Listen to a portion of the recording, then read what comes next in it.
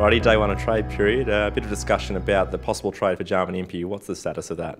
Uh, yeah, we met with Port today, um, and I don't think we're um, piles apart. Um, yeah, so there was some good dialogue there, but he's a contracted player, so we're aware that um, if Port choose, um, he can stay there, but we're hopefully getting something done. He is keen to come to the Hawks, though, in discussions with him? Yeah, yeah, yeah. He's been uh, really keen. Obviously, we've uh, spoken to him over the last uh, probably two weeks, and yeah, we've got it to a position where he'd, he'd like to get to us.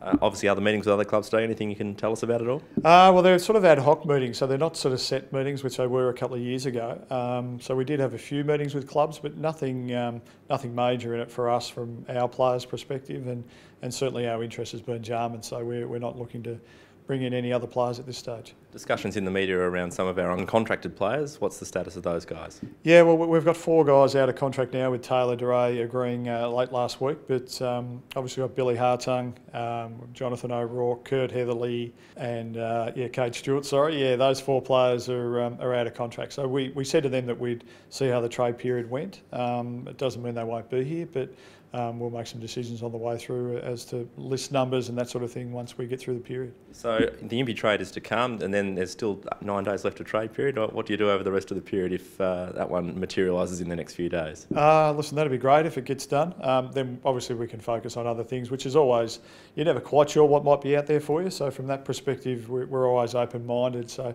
if we're able to get Impey done um, uh, in the next few days. One, we'd be a bit of relief to get that out of the way, but also two, that it allows you to move on to other things. But at this stage, we'll just try and concentrate on getting Impey done.